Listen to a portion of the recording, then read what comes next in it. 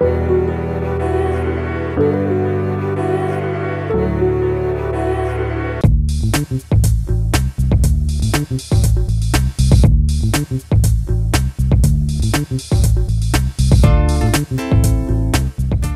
this is Michele Knight.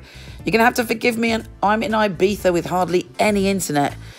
Um, but I couldn't leave you hanging, so I'm going to do a really short one and hope that it eventually uploads. This week is an intense week. We have Mercury square Pluto and Venus square Neptune.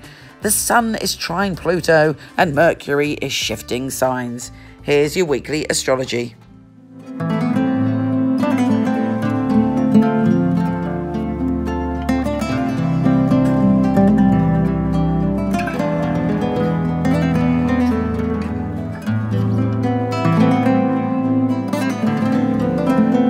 Virgo, this week is quite intense for you.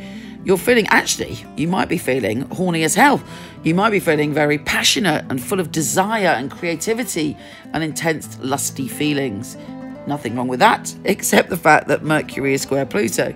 So you may not be communicating your desires, whether it's a sensual desire or whether it's a desire to create, uh, to write a book, to kind of put yourself out there in the world, to go for an audition.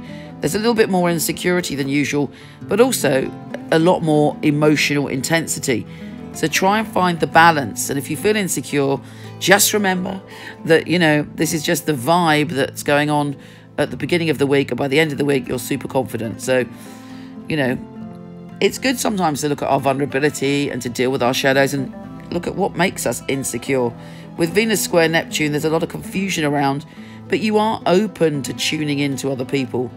There could also be a flirtation at work or around someone's work environment. It may actually be that you're not sure if somebody's flirting with you or is attracted to you, but there's this vibe in the air. You know, you, you probably won't know until the end of the week or beyond, but it's in, certainly an interesting time for you. Mercury joins forces with Uranus on the 13th, and then Mercury changes signs, making you much more open to opportunity. But there's unexpected issues to do with power, powerlessness, um, opportunity to have an affair or, or kind of secrets, money, all of that stuff is coming about in a conversation around the 13th of May. An interesting week. Take care, gorgeous, and I'll speak to you soon.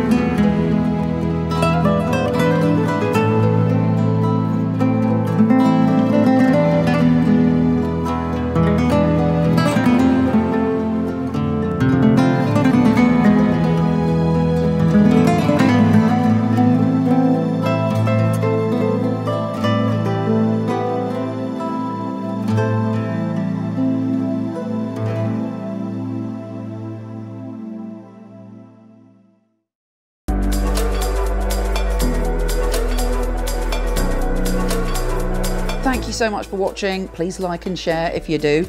And I've got a little present for you. If you go to horoscope.co.uk, I now have a, not only a free chart wheel, but free birth chart interpretation. So pop along and have a look. Take care, and I'll speak to you soon.